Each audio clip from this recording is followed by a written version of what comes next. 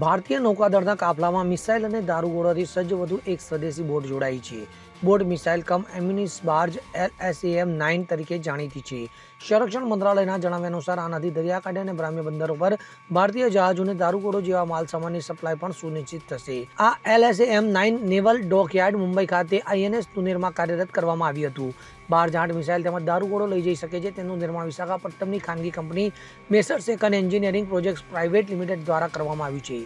આ બાર્જ ઓછામાં ઓછા ત્રીસ વર્ષ સુધી નેવી માટે કામ કરશે. આ બાર્જ બોટની હાજરી પરિવહન આવશ્યક ચીજવસ્તુની અવરજવર અને લોડિંગ અને અનલોડિંગની સુવિધાઓ પૂરી પાડીને ભારતીય નૌકાદળની કાર્યકારી પ્રવૃત્તિઓને વેગ આપશે. Bureau report CN twenty four news.